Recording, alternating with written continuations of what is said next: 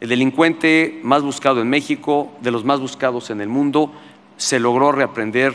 gracias a un esfuerzo de inteligencia y de trabajo consistente de las áreas de seguridad pública de nuestro país. La indicación que tiene la Procuraduría General de la República es trabajar y acelerar su trabajo para lograr lo más pronto posible la extradición de este delincuente de alta peligrosidad. Fue para, nosotros como gobierno sin duda un momento difícil de tensión cuando logró evadir, cuando logró fugarse del penal, eh, por eh, eh, las razones y por lo, que resulta la investigación que sobre esa fuga las instancias de Procuración de Justicia tenga que concluir.